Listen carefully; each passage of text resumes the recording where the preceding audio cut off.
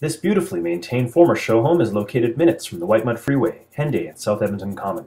If you enjoy the shade and privacy of a well-treed setting, this home is the one for you. It offers a large, 30-foot long west-facing covered front deck, as well as a deck off the living room. With over 1,800 square feet of living space above grade, this end unit is a family-sized home. It offers a massive 14 by 13 foot master bedroom and two other bedrooms, one of which has a 16 by 6 foot walk-in closet.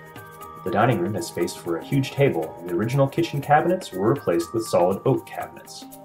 Other features you may appreciate include a double attached garage, Canadian maple hardwood floors, a spacious front entrance, vaulted ceilings, a wood-burning fireplace for those chilly winter nights, granite countertops in both full bathrooms, and a luxurious rain shower unit with lights and music. A grocery store is in walking distance along with other stores and services. With its outstanding location and various upgrades, this immaculate, well cared for home could be the one you've been waiting for. Visit our listings at schroderteam.com for more information or call us today to book a showing.